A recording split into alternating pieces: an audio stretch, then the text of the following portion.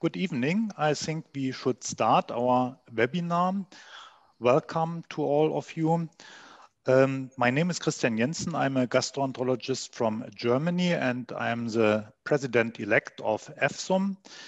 And my co-chair is Ioan Sporea from Romania, from Timișoara. And we will have two further lecturers, Alina Popescu, also from Romania, Timișoara, and uh, Christoph Dietrich, now in Switzerland, in Bern. This is a joint uh, webinar of the World Federation of Ultrasound in Medicine and Biology, WFUMB, and of the European Federation of Ultrasound Societies in Medicine and Biology.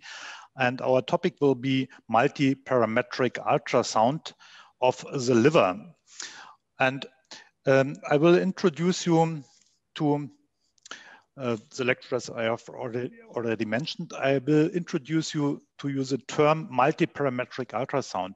It was in 2015 that Paul Sidhu, a radiologist from London and the current past president of EFSUM, um, compared in an editorial ultrasound to the other imaging modalities. And he said that ultrasound as, for example, MRI or CT has a lot of possibilities to characterize lesions and tissues, not only B mode, but also we can characterize um, the vascularity and perfusion. We can characterize tissues um, alongside their stiffness or their attenuation, and we can perform, of course, ultrasound guided biopsy. And this is a new interesting topic. We can use artificial intelligence to support our own human intelligence in liver ultrasound.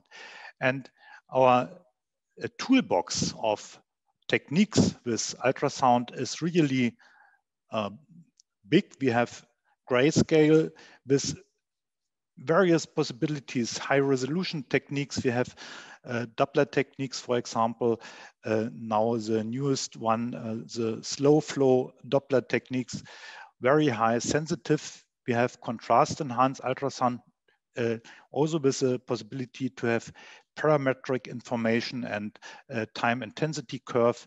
We have elastography and two different techniques, strain and shear wave elastography.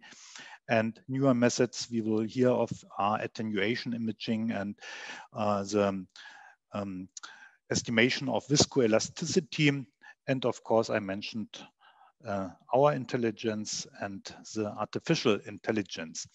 And therefore, because uh, ultrasound has become multiparametric and multidimensional, uh, EFSUM has started a new guideline project on multiparametric ultrasound and we will soon, I hope in one or one and a half year, have uh, two further guidelines on multiparametric uh, liver ultrasound, on multiparametric pancreas ultrasound, testis, thyroid, and breast are the three smaller organs with um, guidelines and uh, position papers or technological reviews on multiparametric ultrasound of these organs. And now we come to the first two uh, lectures. Um, they are on diffuse on parenchymal liver disease. And I would like to mention Gerhard Rettenmaier. It was 44 years ago that he was the first to try to quantify sonographic steatosis. And he used paper printouts and a, a light meter and compared um, the region near the surface, the near field to a deeper zone using the light meter and was the first to publish on quantification of liver steatosis.